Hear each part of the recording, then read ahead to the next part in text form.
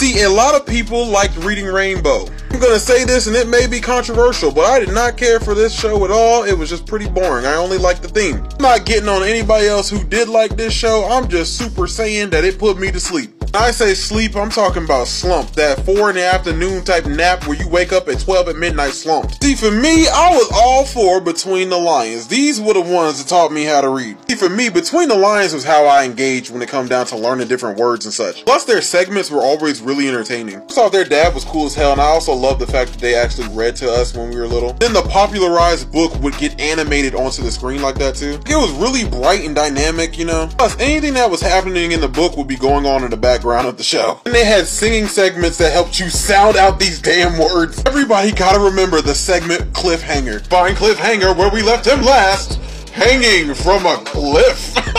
Can't hold on much longer.